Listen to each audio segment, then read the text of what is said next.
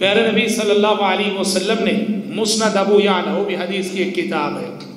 मुस्नद अबू याला की एक रिवायत में आप सल्लल्लाहु अलैहि वसल्लम ने इन अल्फाज में बयान फरमाया कि क़ियामत से पहले ऐसा होने वाला है कि एक आदमी चलती राह पर, चलती सड़क पर एक औरत को लिटाए हुए लोगों की नज़रों के सामने जिना करेगा।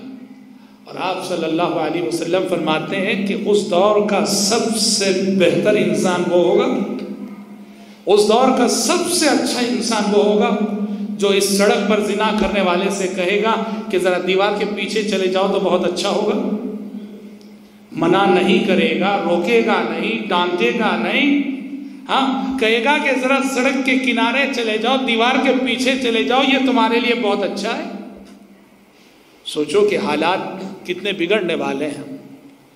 हालात किस कदर अखलाक, इनहतात पजीर होने वाले क़ियामत से पहले। इसीलिए बाज़ हदीसों में प्यारे नबी सल्लल्लाहु अलैहि वसल्लम ने इसी मफहम को बयान करते हुए फरमाया कि क़ियामत से पहले हालात इतने नागुफ्तब हो जाएँगे, ज़मीन इस कदर बिगड़ जाएगी, ज़मीन पर फसाद के मज़ाहिर इस कदर आम हो जाएँगे कि एक इंसान, एक मोमिन कब्रस्तान से गुजरते हुए ये कब्र को देखकर हसरत से कहेगा कि काश के इस कब्र के अंदर मैं रहा होता।